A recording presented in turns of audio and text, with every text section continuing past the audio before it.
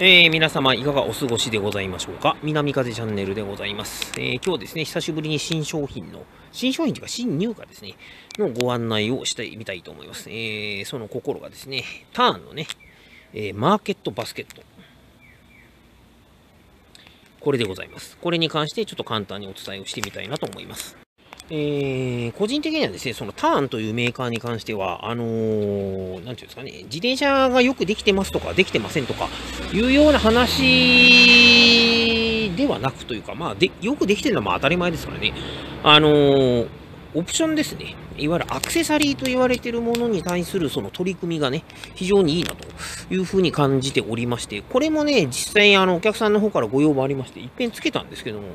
なかなかいいねというようなまんま、えー、その日々を重ねておりまして、まあ、ね、久しぶりに入ってまいりましたので、えー、それのちょっとご紹介ということになります。で、参考までにですね、この大きさですね、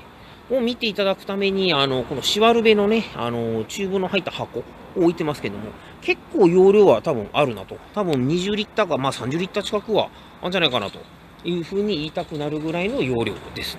で、この一見10日後ですけどね、これあの、いわゆる糖ではなくて、化学繊維というかね、あの、雨とかに濡れても全然 OK な、えー、なんか落車とかひっくり返ったりとかしない限りは壊れることはまずないというような、えー、素材でできております。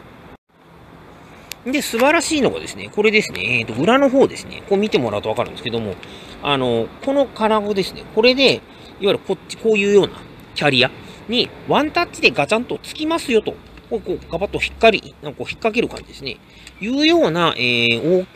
仕様になっておりますというところです。えー、おり、ね、た、まあ、20インチの中折れ式の折りたたみの自転車なんかはですね、カゴつけるのはいいんだけど、畳んだ時に邪魔になっちゃうじゃないかよ、みたいな話にまあなるわけなんですが、その時にワンタッチで外せますというふうに、あの、できているというのが素晴らしいわけですよね。で、実際つけてくれて、くださってるお客さんも、あの、輪行ツアーとか、えー、自転車のね、いわゆる自転車旅行ですよね。で、メインに使ってらっしゃるという方で、えー、っとね、ダホンのホーライズですね。あれにターンのカーゴラックをつけた状態なんですけども、それにあの、このワンタッチのね、えー、カゴをドンと乗っけて、で、サイドバッグももちろん使いますというような形で荷物を運んで旅をしていらっしゃいます。で、その旅行用の自転車でね、あの、キャリアの上にね、これ、カゴつけるっていうのは、なんか防水とかね、その辺の感覚からでどうなんですかねみたいな話を、えー、一番最初にはさせていただいたんですけども、その方おっしゃるのが面白かったのが、雨が降ってね、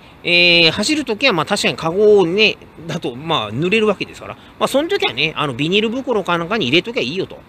で、面白かったのはですね、あの、服が濡れたりとか、あのー、まあ、いろんなものが濡れたりとかするわけなんですけども、その時は、カゴを全開にして、そこにその、濡れたものをこう入れると。で、その状態で、あの、晴天の中しばらく走ってるとすぐ乾くからね、旅行の時はこっちの方がいいんだよな、みたいな話をされていたのが非常に面白くてね。で、その方の自転車見るたびに、このカゴはついたまま必ず運用されてますので、まあ、いかになんか便利かということなんだろうなというふうに思います。